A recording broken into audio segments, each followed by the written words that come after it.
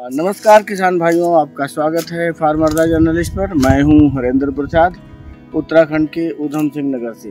आज हम एक स्थानीय किसान के पास आए हैं, जो सब्ज़ी का काम करते हैं। और आप देख सकते हैं, इधर ये अभी इन्होंने ये भिंडी लगा रखी है। और अभी तैयारी पर है। ये बाद वाली भिंडी है। बाद में जो अभी गर्मी की भिंडी उसके ख़त्म होने के बाद ही इसका सीज़न शुरू होगा। तो इनको एक अच्छा मुनाफा हो सकता है। इधर भी देख सकते हैं और इन्होंने एक ये पोली हाउस भी बना रखा है। और पोली हाउस में अभी देखते हैं बात करते हैं। शायद धनिया बोएँगे। इस समय इस समय धनिया जिस भी कि, किसी दुकानदार के पास या किसान के पास होगा तो उसको अच्छा बेनिफिट हो सकता है। तो हमारे आ, साथ हैं भाई साहब इनसे हम बात करते हैं। हाँ तो आप देख सकते हैं हमारे साथ भाई साहब। सर आपका नाम क्या है? आसनाथ राजनाथ। आसनाथ। आसनाथ अच्छा नाम आपका आसनाथ है ये पोली हाउस देख सकते हैं पूरा ऊपर से। आ, इन्होंने ये सरकार से ले रखा है तो आप थोड़ा सा पोली हाउस के बारे में बताएँगे कि सरकार से आपने कब लिया क्या आपका खर्चा आया कि आप वैसे मिला? अभी ये मुझे छह महीने हुआ लगभग लगाए अच्छा, हुए। लगाए हुए को। इसमें मैं भिंडी लगा रखा था। अच्छा। इससे भिंडी मतलब इतने एरिया में हाँ, हाँ। लगभग लगभग दस हज़ार का।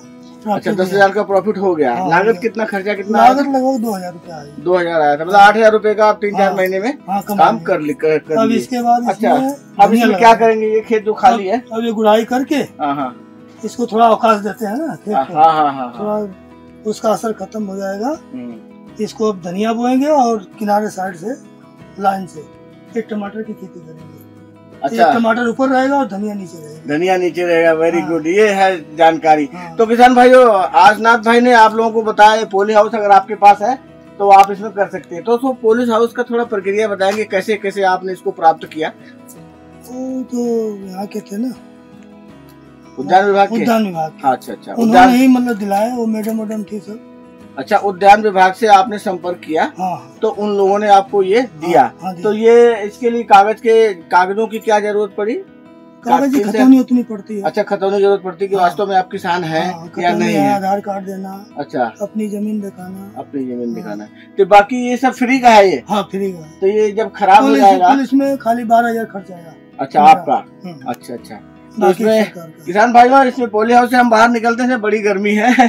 अभी आपको आप थोड़ा ठंडी तापमान एरिया हैं। ही रहता है। हाँ ये तापमान बना रहता है इसीलिए पोली हाउस है ये। हाँ। तो थोड़ा सा ये जानकारी लेते हैं आगे। इन्होंने ये आगे लगा रखा है। ये भिंडी भी आपकी है? हाँ तो ये कब लगाया था आपने ये भिंडी? आज से दो महीना पहले लगा अच्छा दो महीने का पेड़ है ये। हाँ, तो इससे पहले इसमें क्या था? इससे पहले मिर्च थी। अच्छा मिर्च निकाल लिया हाँ आपने। अच्छा अभी आप देख सकते हैं दो महीने का पौधा है तो अब इसके बाद जब ये फल आएगा इसमें हाँ। तो तो महँगा बिकेगा फिर? हाँ लगभग कोई इस समय तो भी रेट अच्छा चल रहा है पंद्रह बीस का अच्छा पंद्रह बीस का रेट इस समय चल रहा है पच्चीस तीस भी हो सकता है तीस भी हो सकता है क्योंकि सब्ज़ी हाँ। तो इस समय अमूमन जो नदी के किनारे पहले हाँ। की सब्ज़ी थी वो तो खत्म हो गई है हो ऊपर हाँ जो खल्ले खेतों में लोगों की सब्ज़ियाँ लगा रखी थी वो भी खत्म हो गई हाँ, हाँ। तो आपकी ये ऊपर ऊपर की सब्ज़ी बची है।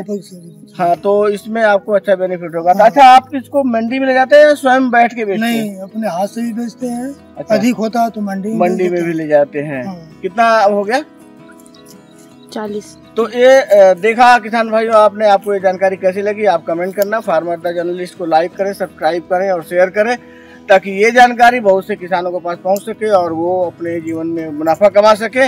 आज की वीडियो में इतना ही, फिर मिलते हैं अगले वीडियो में। नमस्कार।